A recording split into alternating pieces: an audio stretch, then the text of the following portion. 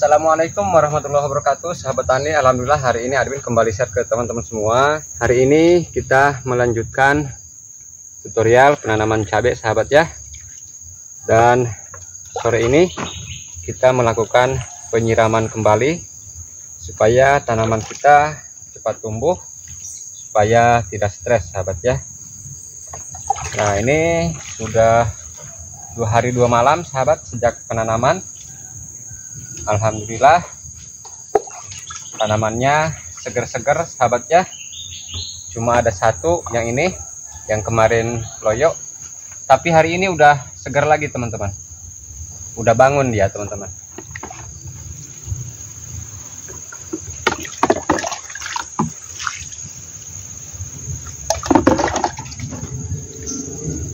Oke sahabat tani seperti ini perkembangan tanaman cabai setelah dua hari dua malam sahabat.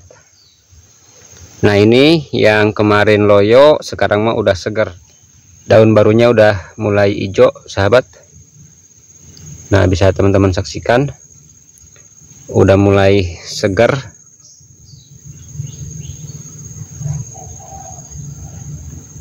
nah yang ini juga udah segar sahabat sore ini admin melanjutkan tutorial yang tadi yang mana kita membahas biovaria basiana sahabat ya. Nah untuk aplikasinya sebaiknya sore hari teman-teman. Nah itu anjurannya ya. Kalau nggak pagi sore hari teman-teman dalam aplikasi BPR atau biovaria basiana sahabat ya. Untuk yang ada di sini yang ada di kupu-kupunya ini kita akan coba praktekkan nanti ke lahan teman-teman ya nah ini admin mau coba di remok ini. Mau coba dihaluskan. Seperti apa nanti untuk diaplikasikan ke tanaman teman-teman ya. Nah teman-teman setidaknya admin juga sudah membuktikan ternyata memang benar seperti ini ya. Bentuk BPR itu kalau dicairkan itu cairannya berwarna putih teman-teman ya. Nah sahabat tani sekarang kita akan aplikasikan sahabat ya DPR yang sudah kita isolasi. Nah sekedar berbagi ke teman-teman semua untuk warna BPR yang sudah kita isolasi seperti ini sahabat. Warnanya putih. Insektisida dari BPR sahabat ya. Insektisida hayati atau insektisida biologi Nah sahabat tani ini sebaiknya dispraykan di sore hari atau pagi hari. Nah sahabat tani karena cuma sedikit kita nggak pakai tangki semprot sahabat ya. Kita hanya pakai ini aja, pakai gembor. Nah ini akan kita gunakan untuk menyiram tanaman cabai dengan insektisida biologi yaitu Bioparia basiana sahabat. Nah ini kita saring dulu menggunakan ini kaos kaki sahabat ya. Nah seperti ini insektisida BPR yang kita isolasi selama tujuh hari sahabat. Oke sahabat tani kita langsung saja ke penyepraiannya sahabat ya. Ini udah sore juga ya. Udah mau maghrib. Kita spraykan dengan cara disiram saja seperti ini. Karena cuma sedikit ya. Kita guyur aja nah seperti ini. Sebaiknya sih dispray dari bagian bawah daun ya. Kalau menggunakan tangki spray.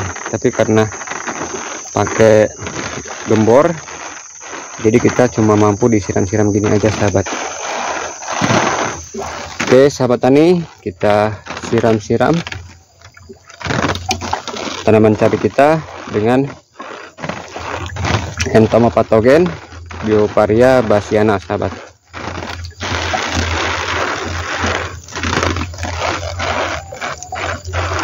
seperti ini SOP nya sahabat ya. Untuk penyepraian menggunakan BPR atau bioparia basiana. Kita spraynya kalau enggak sore itu pagi hari. Nah ini sore ya udah mau malam ini mah udah maghrib sahabat ya Nah untuk dosisnya tadi itu admin juga ingatkan di video yang tadi yang tadi siang yaitu dari BPR yang dibuat dari nasi 100 gram itu kita encerkan dengan air 1 liter. Setelah itu disaring seperti tadi kemudian ditambah lagi dengan air 15 liter sahabat ya atau 14 liter. Itu untuk dispraykan per 100 gram isolat BPR yang dari nasi. Itu untuk takaran per tangki sahabat ya. Oke sahabat tani Alhamdulillah untuk tutorial BPR sudah selesai ya. Dari isolasi sampai ke pengaplikasiannya. Admin akhiri. Wabillahi taufiq wal hidayah wassalamualaikum warahmatullahi wabarakatuh. Salam hijau